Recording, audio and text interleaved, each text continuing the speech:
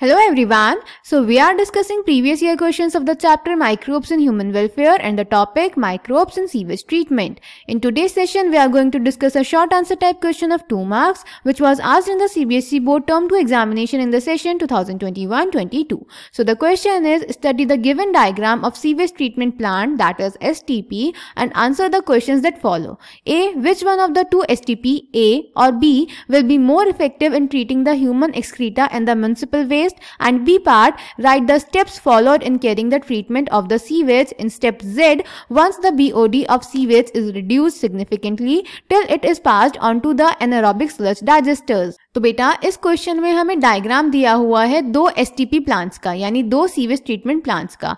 ए part में हमसे पूछ रहा है, इन दोनों सीवेज ट्रीटमेंट प्लांट्स में से कौन सा सीवेज ट्रीटमेंट प्लांट ज़्यादा इफ़ेक्टिव होगा? और बी पार्ट में हमें बताना है स्टेप जेड में क्या क्या इवेंट्स होंगे? अगर सीवेज का बीओडी रिड्यूस हो गया है, वहाँ से लेके जब तक हम इस स्लज को एनारोबिक स्लज डाइजेस्टर में भेजते हैं। Clear so let's check the answer तो बेटा, अगर हम दोनों प्लांट्स को देखें तो प्लांट ए में सबसे पहले जो म्यूनसिपल सीवेज आ रहा है उसका बायोलॉजिकल ट्रीटमेंट हो रहा है और उसके बाद उसका सेडिमेंटेशन और फिल्ट्रेशन हो रहा है। जबकि प्लांट बी में पहले फिल्ट्रेशन हो रहा है, उसके बाद बायोलॉजिकल ट्रीटमेंट हो रहा है। तो अगर हम प्रॉपर प्रोसेस देखें तो सबसे पहले हम सेडिमेंटेशन और फिल्ट्रेशन करते हैं, उसके बाद बायोलॉजिकल ट्रीटमेंट करते हैं। तो इसीलिए जो एस बी होगा, वो ज़्यादा इफ़ेक्टिव होगा। तो आंसर ए हो जाएगा बी क्लियर उसके बाद बेटा बी में हमें इवेंट्स बताने थे। स्टेप जेड में बीओडी रिड्यूस होने के बाद से लेके एनोरोबिक्स प्लस डाइजेस्टर में इस को भेजने तक। तो बेटा जब बीओडी रिड्यूस हो जाती है तो इस एफ्लुएंट को हम डाल देते हैं सेटलिंग टैंक में, जहाँ पे हम जो फ्लॉक्स होते हैं, उन्हें सेडिमेंट होने के लिए छोड़ देते हैं।